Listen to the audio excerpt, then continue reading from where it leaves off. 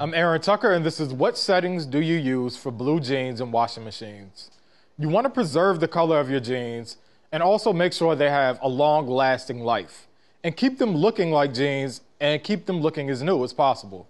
So you want to use the coldest possible setting and also either a delicate or a hand wash setting.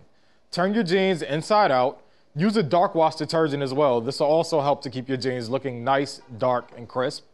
Wash them take them out of the washer immediately and either use them, like hang them up to dry, or put them in a dryer on a low setting. Take them out of the dryer immediately as well. But make sure you keep your jeans cold water, inside out, hand wash, or delicate cycle.